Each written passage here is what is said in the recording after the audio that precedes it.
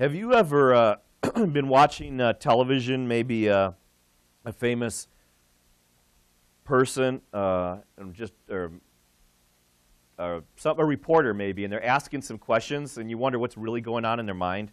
You wonder what somebody's really thinking, or maybe a friend, and they're smiling at you and telling you all these things, but inside you're wondering what are they really thinking about me, or what are they? What are they? Are they even thinking? Are they just talking without thinking?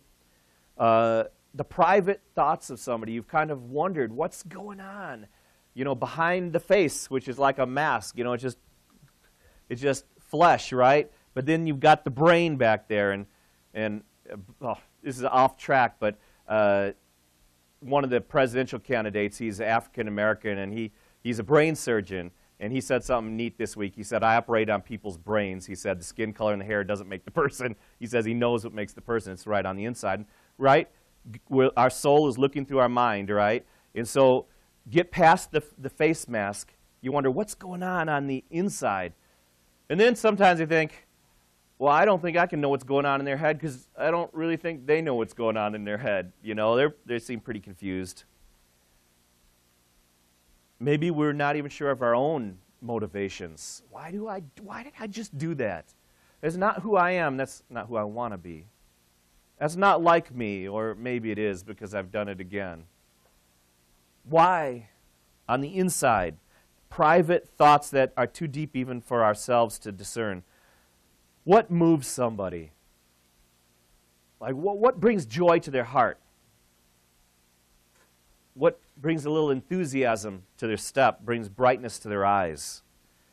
What shocks this person? What really upsets this person? Some folks have a good mask, right? You don't know what's going on in the inside. Deep down inside, what pleases them? Today we're going to get a chance to do that with uh, Jesus Christ, our Lord, our Savior. We say, I love you, Jesus, right? Our, all Christians say, I love you, Jesus. But how can we know who He is? Or are we just loving some image that we've made up in our own mind well, that's why we're so thankful for this love letter from God. That's what the Bible really is. It's a love letter from God. He reveals to us his heart, like, I don't want you guys committing adultery. I don't want you stealing. I don't want you telling lies. I mean, he gives us his heart right here about how his children should behave. Then he shows us his heart by actually coming down, God setting aside all his glory, all his power. He's born as a baby. How humble is that? And he washes his disciples' feet. How humble is that? The one who made all the galaxies in this giant universe comes to this little dust, piece of dust in the cosmos, this little piece of dust in the universe, and, he, and we've got such monstrous egos, and we're always getting upset, and our pride is wounded, and we're holding on to grudges. And the greatest one of all comes down and says, Now here's the way I want you to do it wash each other's feet, care for one another, have genuine concern for one another. I'm so thankful that we get an insight into who God is. Otherwise, it'd just be me spouting some hot air, you spouting some hot air, and people said, Well, I don't think God would really, well, and you know this because, or I don't think God would really, and how, how do you know that? How could you possibly know that? But if God loved us enough, if at the center of the universe it's all about love, that God created us out of love, He wants to love us, our sin has taken us away from Him, that's what the cross is all about. He died there because he loves us. He wants to bring us back to him. If the center of the universe is love, we shouldn't be surprised that God loved us enough to say, I don't want you to be worried if there's a heaven or a hell. I want to tell you. I don't want you to be worried, how can I get there? I'm going to tell you, have faith in me. If at the center of the universe is love, we should not be surprised that God himself would give us a love letter. So today's title is called A Glimpse into the Heart and Mind of God. A glimpse into the heart and mind of God. Of course, we could probably title any study from the Bible that way. Uh, God is so wonderful, so kind to us that He'd actually show us these things in the Scriptures. But uh, specifically today, I want us to look at uh, from Luke chapter 7 Luke chapter 7, and we're going to read the first 10 verses about the faith of a, a Roman centurion.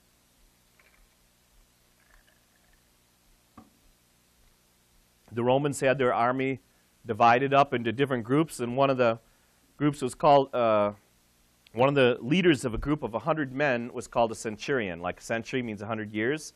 He's a centurion because he would have, if his force was up to full strength, he'd have 100 soldiers. Sometimes it was, of course, uh, less than that. But a centurion would be the leader of 100 soldiers. And there's some dispute because people are wondering why would Roman soldiers have been in Judea? And uh, that's a funny thing. That 2,000 years later, people would say, well, the people at that time said there's Roman soldiers there garrisoned, but we know that could never be. Uh, why would we think we would know better than the people that were actually there at that time uh, who wrote these things down? And so it was a complex situation. Judea was being ruled by one of Herod's sons, right? We, taught, we studied about those. Herod had a bunch of sons ruling different parts. But Rome ruled the whole region. And so even though there was a, a, a Herod in charge of that region, it shouldn't be surprising to us that there was a Roman garrison there as well. So let's read now Luke chapter 7, and we're going to look at the first 10 verses. We're, today we're going to get about halfway through, or about a third of the way through, I guess, chapter 7. But let's start with the first 10 verses. And we just had finished talking about the wise and foolish builders. Remember, Jesus said, if you hear my words, and you don't just hear them, but you put them into practice, there's, there's a blessing for you. And we talked about some blessings God gives to everybody in the world. They don't have to believe in them. Some blessings are for everybody. The blessings of flowers, of sunshine, of trees, the, the, the sound of a baby's voice. These blessings everybody gets to experience. And then there's, there's a blessing uh, for faith. When you come to God and say, God, I confess my sins. I know I'm a, a messed up person. Lord, please forgive me. You get the blessing of eternal life. You get the blessing of complete forgiveness. But there are other blessings that are actually contingent upon our obedience, upon our behavior. Uh, you decide not to go to church ever, you don't get the bliss, blessing of being with God's people. You don't get the blessing of, of, being with God's people when we pray, when we sing, when we study the Word. Uh, you you want to go out and, and uh, start cheating somebody, you don't get the blessing of peace in your heart because you're doing things God's way. So some blessings are actually contingent upon our behavior. And Jesus said there's wise builders and foolish builders. He's talking about how you do your life. A foolish builder he just puts up his house willy nilly. It's like putting your house on the beach when the, when the tide is out to sea. Then when the tide comes in, the storm comes in, what happens? The house just washes away. But he said, if you hear my words, Jesus said, the things that I'm teaching, and you put them into practice, it's like finding solid, it's like finding bedrock. And then you build your house on that rock. You build your life. And so that's where we got the name of our church, Foundation Bible Church, a place to build your life. We're building our uh, uh, you know, on the Word of God, our lives on the Word of God. Also, Christ is our solid rock. We're building our life on Jesus Christ. So, verse 7, uh, chapter 7, verse 1 says, When Jesus had finished teaching all the things we just spoke about uh, to the people who were listening, he entered Capernaum. There, a centurion's servant, whom his master valued highly, was sick and about to die. So, the centurion is not a Jew, right? He's a, he's a, a Roman citizen. The centurion heard of Jesus and sent some elders of the Jews to him, asking him to come and heal his servant. So this is interesting. Uh, here we have the Jewish people who are occupied. They're occupied by this Roman army. They should have been hostile. The centurion, uh, Rome looked down at this region, Palestine they called it. The Romans were looking down at, at, at people in Palestine. The Jewish people were very rebellious, very difficult for Rome to rule. But here we have a Roman centurion and Jewish elders and their friends. They, they get along well. They're acquaintances, uh, good acquaintances. So the centurion heard of Jesus, and he decides to send some Jewish elders to him, and he asks him, Please come and heal my servant. When they came to Jesus, they pleaded earnestly with him. So they're not just carrying out a mission. Hey, the Roman centurion over there is bozo, is giving us a message. No, they plead with him earnestly. This man deserves to have you do this because he loves our nation and has built our synagogue for us. So Jesus went with them. Isn't that neat? Here's a Roman centurion. He's a Gentile, but he sees there's truth in these Old Testament scriptures. Remember, the New Testament's not written yet. He sees there tru- there's truth in the God of Israel. He sees there's truth in the God of Israel, and he helps to build a synagogue with his own money. So Jesus went with them. He was not far from the house when the centurion sent friends to him to say, Lord, don't trouble yourself, for I do not deserve you to come underneath my roof. And maybe he knew that devout Jews wouldn't step into the home of a Gentile. And so he's trying to save Jesus from that. He's thankful that Jesus is coming, but he says, You don't actually have to come into my house. That is why I did not even consider myself worthy to come into your presence. But say the word, and I know my servant will be healed. For I myself am a man under authority, with soldiers under me. I tell this one, Go, and he goes, and that one, Come, and he comes. I say to my servant, Do this, and he does it. So he has confidence that all Jesus has to do is say the word, and his servant will be healed. When Jesus heard this, he was amazed at him. And turning to the crowd following him, he said, I tell you, I have not found such great faith even in Israel. And you know what? How, many, how popular do you think that made him with his Jewish followers? What if the United States were being occupied by Red China or being occupied by Iran? I mean, something. I mean, we're talking hypothetical here. And somebody says, wow.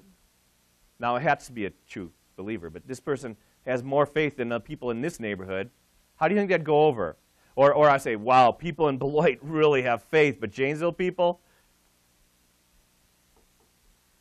Uh, Jesus, we're getting a glimpse into the heart and mind of God here, God in flesh, Jesus Christ. Uh, he's speaking truth here. And he's not there just to pat people in the back and make himself popular. He says, I haven't found faith like this, even among my fellow countrymen, even among Jewish people. That's amazing. Now, sometimes when we think, I, this is something, what do you call it, a pet peeve? I got a pet peeve. Uh, it's, it's worse than that. I'm really ticked off at people misapplying scripture like this. People misapply this and they say, well, I'm going to be like Jesus and I'm just going to speak my mind and I don't care what people. Oh, come off it. All you're doing is using religion as a license to be a jerk. Be quiet. You don't have anything good to say. Jesus is not just speaking his mind because he don't care about people. Jesus speaks his mind because he does care about people. He's bringing truth to bear on the situation. And he said, This is amazing, this Gentile, and you people, he's talking to his fellow Jews, need to understand, and we see this from the rest of Scripture, just because you're physical descendants of Abraham doesn't mean you're right with God. You need to put your faith, we all do, have to put our faith in Jesus Christ. And so here he is, and, and Jesus is trying to point the people, and it had to upset them. And it wasn't one of those things where he says, Well, I don't care if they're upset. I'll be who I want to be. I got to just be myself. No, that's not it. Jesus is not a jerk. Jesus spoke to them hard truth because they needed to hear, because, and I think we're guilty of this in the United States sometimes too. Are you Christian? Yes. Why? Well, I'm an American. Or my parents went to church. Or maybe, I think my grandma went to Sunday school, so I think that makes me a Christian. No. We're not Christians just because we think our culture, which it isn't Christian, but we're not Christians just because we think our culture is Christian. We're not Christians just because mom and dad are Christians. And Jesus was saying, You guys aren't right with God just because you're physical descendants of Abraham. He says, I have not found such great faith even in Israel. Then the man uh, who had been sent returned to the, to the house, and they found the servant uh, healed. He was fine the, the sickness had left him. There's only uh, that I could find. I tried to look. I read this and I and I wasn't quite sure, so I looked it up and I, I couldn't find any other places. It maybe it depends on which word you use, but only in two places in the New Testament does it say that Jesus is astounded or that he marveled or surprised. Here at the faith of the Gentile centurion. Now, right away, people say, well, how can God be surprised if he's supposed to be God, right? Isn't that a fair question? Well, what we've been talking about ever since I studied the Gospels, we spoke about it last week too. When Jesus was born as a baby, he needed his diaper changed. God, when he came out of heaven, this is true, he set aside his rights, his privileges as God. Uh, he, he had all the foreknowledge and ability he needed to accomplish his mission, but not more than that. And so this Gentile, this Gentile who is a, a godly man, a good man who, who loved the people of Israel, he thought, uh, presumably, he thought the God of Israel was the true God. and he helped them to build their local house of worship, he had total confidence in this prophet, this Jesus. He says, I know that if you say the word, my servant will be healed. And Jesus, the Bible says, he, he marveled. It was a joyful astonishment. Wow, look at the faith. I haven't seen this wonderful, powerful faith even among my own uh, countrymen. And then in Mark 6, he was astounded by the lack of faith shown by the people in his hometown of Nazareth. Uh, he went to his hometown. He says, You know what? Prophets have honor, but not in their hometown. Because everybody says, I remember when you were running down the block with a snotty nose. Or I remember when you were chipped and you skinned your knee. Uh, prophets have honor, but not in their hometown. Uh, Mark 6, I'm reading out the Net Bible, uh, New English translation. Now Jesus left that place and came to his hometown, Nazareth here. Remember we talked Nazareth, Bethlehem, Capernaum, all have kind of a right to call themselves a, a home base or hometown for Jesus, but Nazareth is where he grew up. And his disciples followed him. When the Sabbath came, he began to teach in the synagogue. Synagogue was the Jewish church, right? Many who heard him were astonished at his teaching, saying, Where did he get these ideas? And what is this wisdom that has been given to him? What are these miracles that are done through his hands? Because they grew up with him. It's a small town. Isn't this the carpenter, the son of Mary, and the brother of James and Joseph, Judas, and Simon? Aren't his sisters right over there with us? And so they took offense at him. Who does he think he is? Big deal, right? Isn't that human nature? They heard his teaching, they knew it was marvelous. They saw the miracles that he accomplished, but they're offended in their pride because they don't like somebody from their town to be a big deal. Then Jesus said to them, A prophet is not without honor except in his hometown and among his relatives and in his own house. He has no honor there. He was not able to do a miracle there except to lay his hands on a few sick people and heal them, and he was amazed because of their unbelief. So we have Jesus being amazed by the belief of the centurion and here he's amazed, but not in a joyful way, in a disappointed way, about the unbelief of the people from his hometown. Then he went around among the villages in that region and taught some more. So when Christ sets aside his divine power and he comes to earth as a human being, he's astonished by two things lack of faith and faith. Well, doesn't that stir up within you a desire, God, I want you to find faith in my heart? God, I want you to find faith in my heart. Uh, that's convicting to me because I'm pretty talented at complaining. And when I complain, I know that's not faith. That's only looking at woe is me, look at all my problems, look at all my troubles. That's living a defeated life. There's no victory there. Now I need to take my eyes off of myself and off of my problems and quit being so full of myself and I need to start putting my eyes on Jesus Christ and His perfection, His, His goodness. Faith pleases God. You know it? Do you know how I know this, other than the passage we just studied? Uh, faith pleases God. Hebrews 11, 6 through 10. Without faith, it's impossible to please God. So that means faith pleases God. Without faith, it is impossible to please God because anyone who comes to Him must believe that he exists. But you know, that's not even enough. Because the Bible says even the demons believe and they shudder. Even demons know God's real, but that doesn't get them right with God. So you must believe that God is, exists, one, and two, you have to believe that he, the Bible says, rewards those who earnestly seek him. That if I pursue God, that if I search for God, that if I bring God into my life, I believe that there's a blessing for that. I believe that being close to God is a blessing. And that pleases God. One, that you believe that He exists, and two, that you have must believe. Let me, I'm just going to read the verse again. 11:6 Without faith it is impossible to please God because anyone who comes to him must believe that he exists and that he rewards those rewards those who earnestly seek him. Verse 7 By faith Noah when warned about the things not yet seen in holy fear built an ark to save his family. By faith he condemned the world and became heir of the righteousness that is in keeping with faith. By faith, Abraham, when called to go to a place he would later receive as an inheritance, obeyed and went, even though he did not know where he was going. By faith, he made his home in the promised land like a stranger in a foreign country. He lived in tents, as did Isaac and Jacob, who were heirs with him of the same promise. For those, for he was looking forward to the city with foundations, whose architect and builder is God. Brothers and sisters, that's a big part of living by faith. This world might, you know, I'm not just waking up and sucking air and going to work and coming home and eating something and going to sleep and doing this push repeat. I'm looking forward to a city whose foundations and architect and builder, whose foundations are created by the architect and builder God. We're looking for something, a better place. You ever feel like I'm not, I don't fit in here? This world's not for me. This, this world doesn't make sense. I why am I here? I don't feel like it's because you were made for a better place. We were made for what God is calling us to.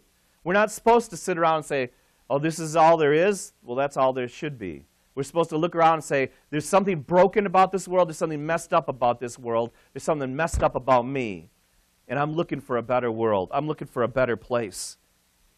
And by faith, we allow God to come into our lives and change us. So I know we're saved by faith, not by works. The Bible tells us this very clearly. There's nothing we can do that we could ever be good enough to deserve heaven. No one is good enough to stand before God and say, Look at me, I'm all that. You are not good enough to stand before a holy God and say, Take me as I am. If we get what the, the silliest thing in the world is to say, God, give me what I deserve.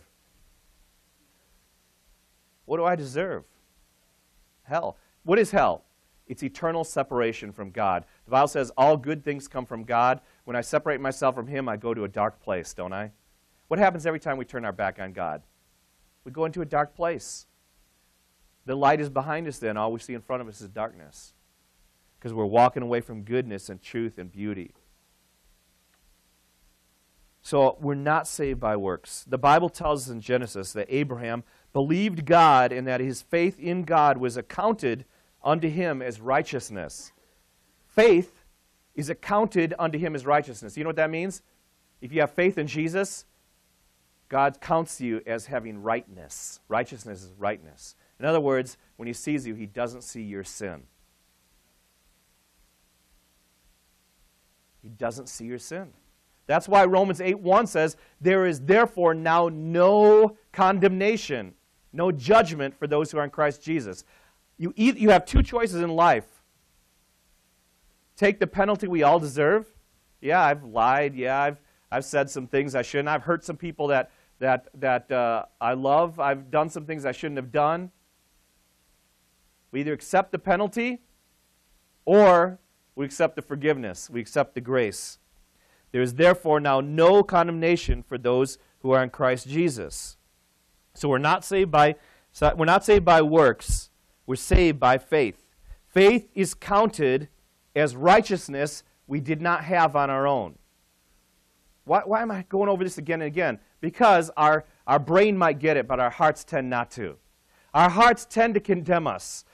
our hearts tend to listen to Satan, who is the accuser of the brethren.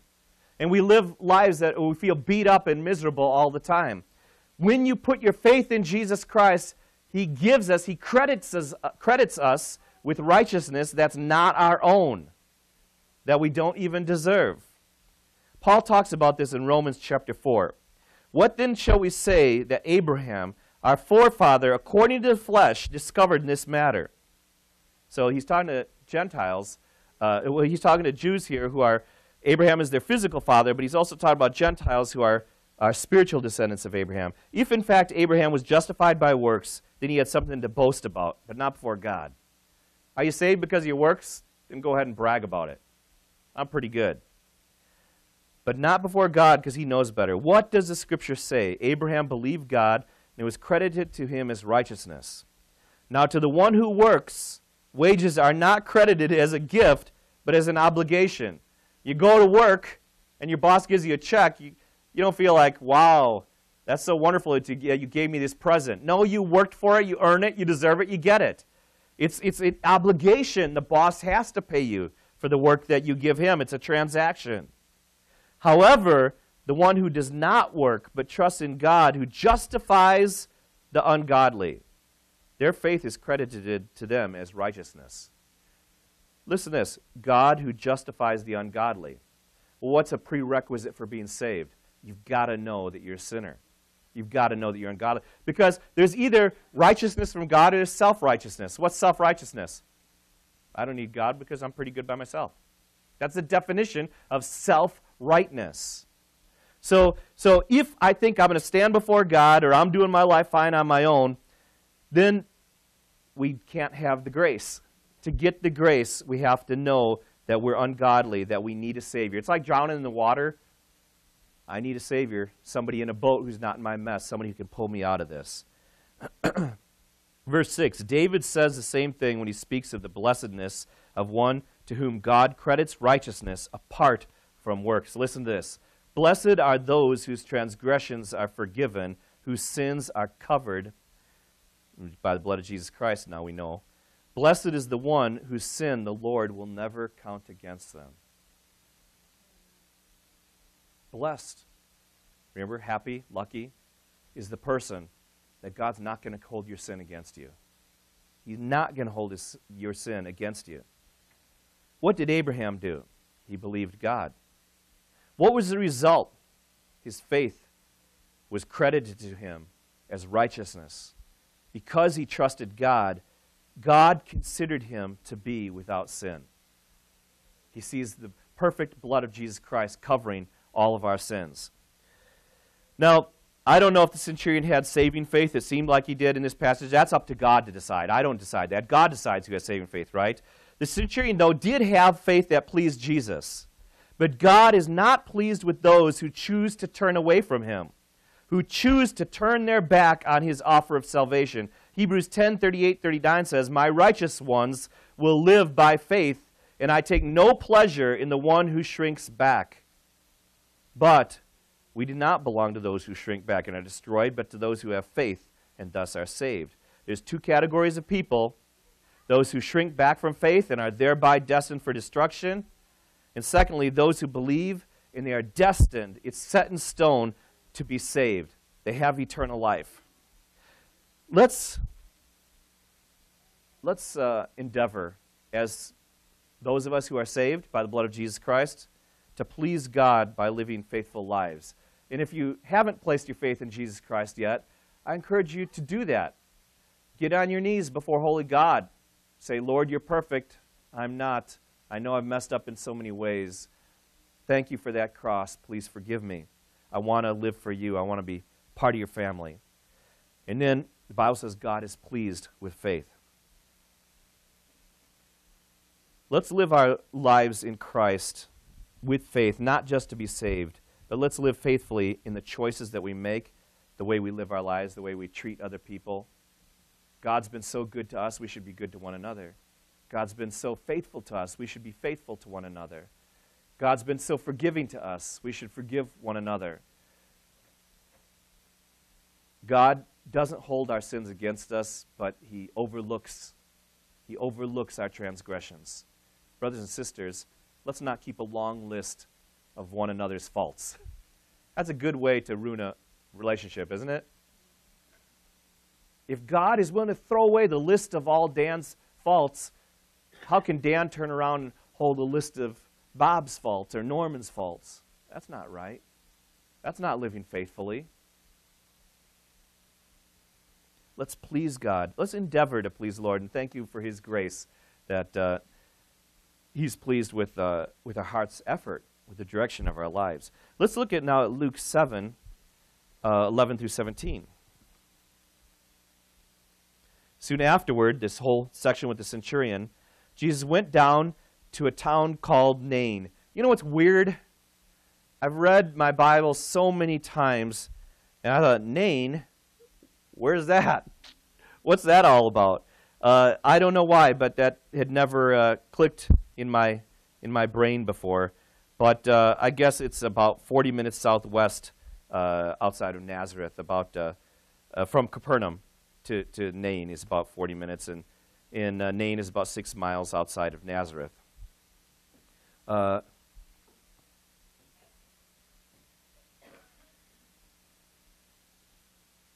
We're going to see Jesus do something that he's done quite often. Uh, God is the one who is, remember when he touched the leper? Remember when the woman uh, who was, had uh, blood issuing from her all those years, uh, and she touched the hem of his cloth? Jesus is the one who comes near to people who are suffering and hurting. I want you to pay attention to that as we read these verses. Uh, soon afterward, Jesus went to a, a town called Nain, small town, and his disciples and a large crowd went along with him. So maybe there's probably more people traveling with him than in the town itself. As he approached the town gate, a dead person was being carried out, the only son of his mother, and she was a widow. And a large crowd from the town was with her. When the Lord saw her, his heart went out to her, and he said, Don't wail. the word for cry here is, is wailing, because there was a really loud uh, uh, remonstrating noise. It was a, is a, is a, like a, a howling uh, sadness. And, and when he sees them coming out, he sees the, the dead body, uh, his heart went out to this woman who's a widow. Now, listen, there's widows all over the world, and there's moms who have lost their little boys and little girls. Isn't it amazing to think that God in heaven sees and he has compassion and his heart goes out to those moms? God puts on flesh, comes down into the human world, and he doesn't say, Oh, yeah, I transcend time. I've seen billions of deaths. Ho hum. He doesn't. God is, even though He's created all of these galaxies with all these trillions, trillions of stars that are just like our sun, he feels compassion on us. We're not like, it's not like you're walking on bugs. He comes down and resides alongside of us, and his heart is moved. He knows our pain. And he says to the woman, Don't cry. Don't cry. Then he went up and touched the uh, bear where he was where they were carrying on. Maybe it says coffin. So he goes up there and touches this, and the and the bear stood still. When he does that, guess what? He made himself ritually unclean in in uh, in uh, Jewish uh, ritual uh, worship. But Jesus didn't care. He didn't care about religion. He cared about bringing comfort. He cared about saying, I'm with you. So he goes up there. He didn't have to. We just saw that Jesus can heal from a distance, right? That's the way he feel, healed the centurion servant. Jesus could have said, Hey, you guys over there, don't cry. Jump. And the guy would have jumped right off of that, popped right off, started doing a jig. But Jesus comes over there and he's with the people in this sorrow. And you know what? Maybe he was even thinking about his own death. I'm going to die, and all of you can be saved, and there will be eternal life for everyone who will come to me in faith because I'm going to kick death. Jesus Christ not only defeats our sin at the cross, he defeats death at the cross. That's why he came. And he came so that we could have new life and have a relationship with him. God cares. I said we're going to get a glimpse into the heart and mind of God. We have a God who cares a God who is full of compassion. God sees our trouble. God sees. And God cares.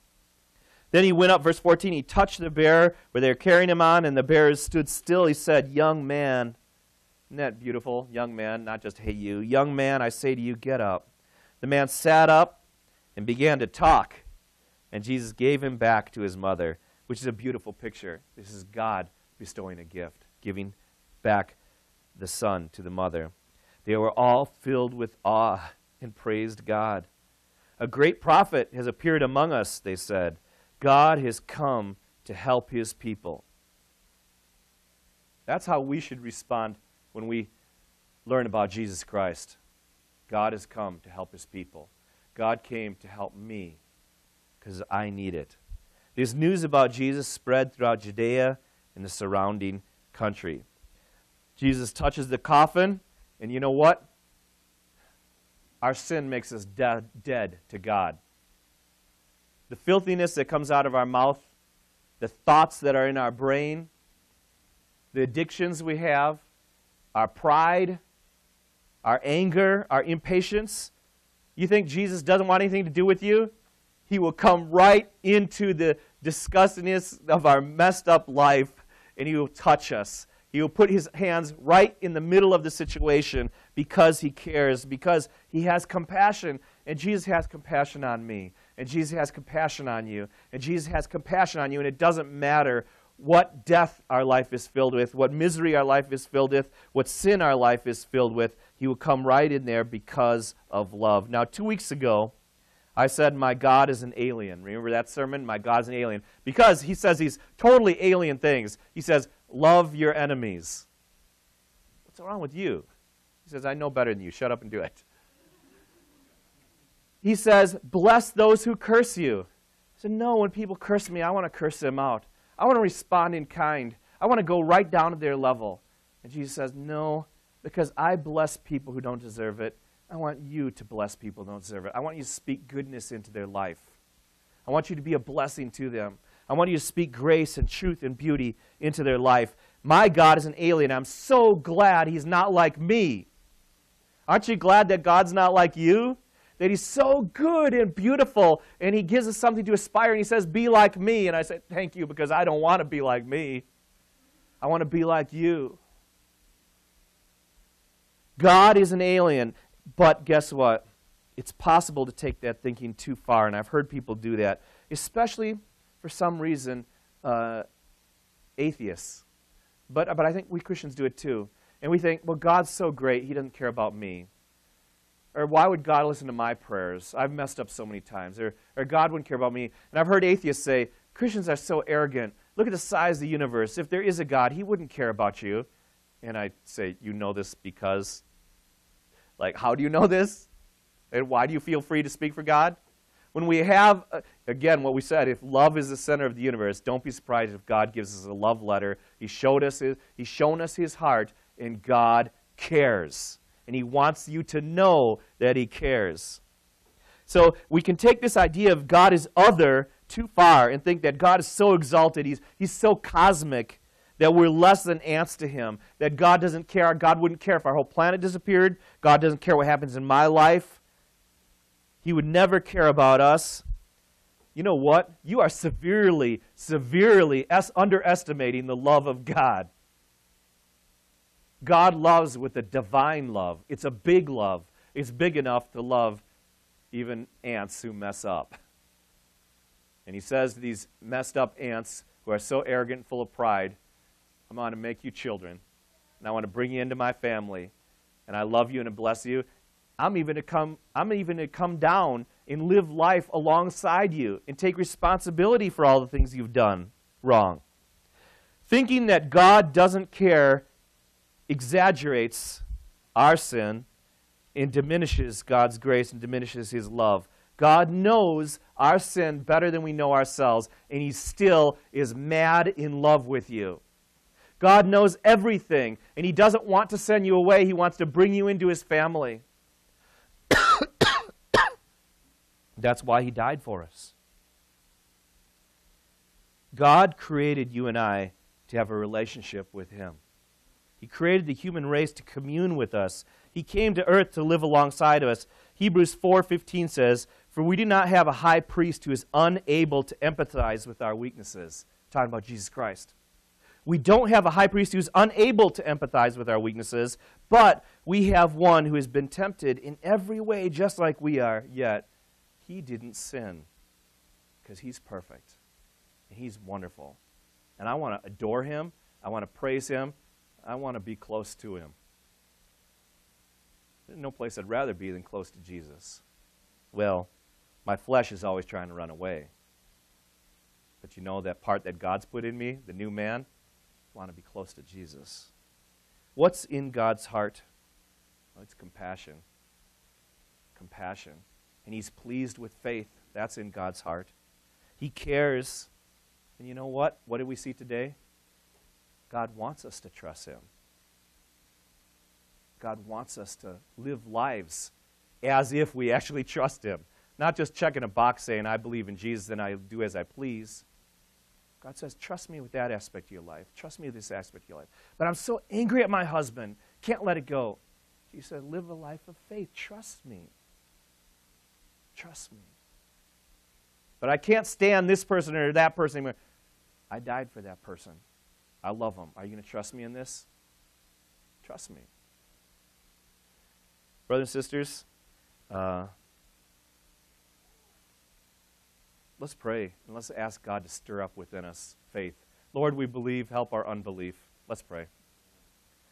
Lord God, here we are. We're here because we want to trust you. We believe. Yet, Lord, we're so weak. Father, help us to live lives of victory. Please strengthen us with your Holy Spirit, Lord. Please give us direction. Please draw us close to your side. Lord, uh, we want to walk so close behind you that you were covered with your dust. We want to be so close to your face that we can feel your breath on our faces, Lord. Lord, uh, thank you that you give us credit for being righteous, even though technically we're very far from that. But you give us credit for being righteous when we reach out to you in faith, Lord. Thank you. God, I want to pray for myself, all my wonderful brothers, all my wonderful sisters. Help us to truly live lives of faith. Help us to make decisions based upon faith in you. Lord, let our actions be based upon faith in you. Thank you, God, for loving us. Help us, Lord, to really love the people around us. We pray this in your name. Amen. Thank you for watching. Foundation TV is a ministry of Foundation Bible Church, Janesville, Wisconsin. Find us online at foundationbiblechurch.com. Foundation Bible Church, inconveniently located two blocks northwest of the Janesville Athletic Club.